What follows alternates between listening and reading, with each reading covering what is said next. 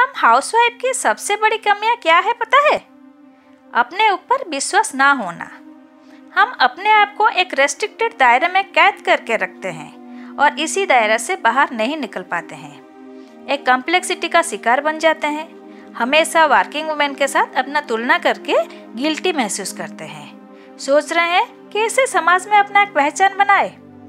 इसी का सोल्यूशन है। वीडियो के एंड तक बने रहिए।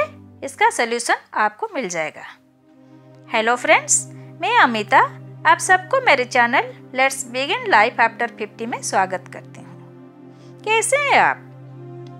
चलिए, आज कुछ पॉइंट्स के ऊपर डिस्कशन करते हैं, जिसे अपनाकर आप खुद को इसी कम्प्लेक्सिटी से बाहर निकाल सकते हैं। मैं सारे पॉइंट्स को तीन चार वीडियो में डिस्कस करूँगी। चैनल को सब्सक्राइब नहीं किया तो कर दीजिए, आपको सारी जानकारी मिलता रहेगा। तो मेरा पहला पॉइंट से अप्रिसिएट योर हम भगवान के एक सुंदर रचना है, मगर हमें हमारा आत्ममूल्य का पता नहीं। अपनी जिम्मेदारियाँ निभाते निभाते हम खुद को भूल जाते हैं। समाज में अपने आप का पहचान बनाए रखने के लिए पहला कदम है, हम अपने आप को कैसे देखते हैं, अपने आप के साथ कैसे बर्ताव करते हैं। आप भी अपनी लाइफ को चेंज कर सकती हैं, कोई और नहीं।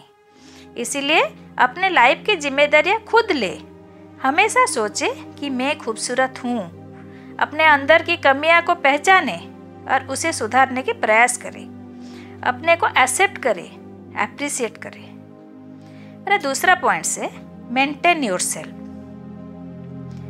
हमारा appearance dressing sense body language ये सब हमारा सोशल इमेज को डिस्क्राइब करता है। इसीलिए अपने आप को हमेशा मेंटेन करके रखें। अक्सर देखा जाता है कि हाउसवाइफ घर पे नाइटी या किसी भी ढेला ढेला ड्रेस या साड़ी पहनकर रहती है और घर का सारे काम करते हैं।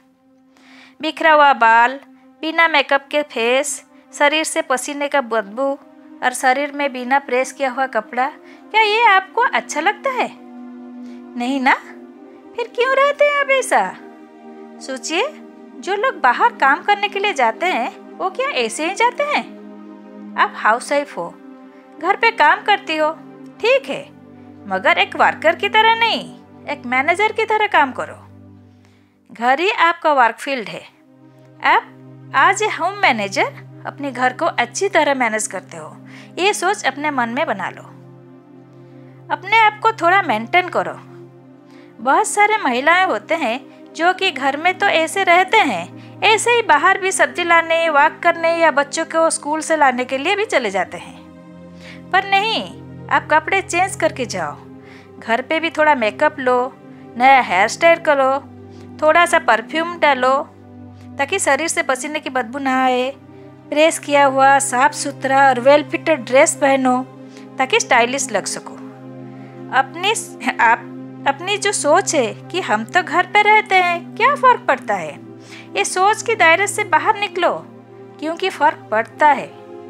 ये छोटी छोटी चीज़ ही आपकी पर्सनालिटी को बढ़ाता है।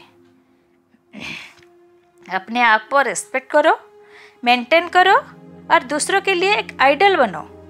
एक हाउसवाइफ की जो इमेज होता है, सफ़ाई करते हुए, बर्तन धोते हुए, कपड़ा साफ़ करते हुए, या आटा गूंथते हुए, इसी इमेज से बाहर निकलो। अपना एक अलग पहचान बनाए रखो। देखोगी कितने पॉजिटिव फील करोगी। और आपकी सारी कम्प्लेक्सिटी दूर हो जाएगी। तो कैसा लगा मेरा वीडियो अच्छा लगा तो एक लाइक ज़रूर कर देना। अगर आपके मन में कोई क्वेरीज है तो कमेंट सेक्शन में ज़रूर डालना। मिलते हैं फिर एक नए वीडियो के साथ। जय जगन्नाथ।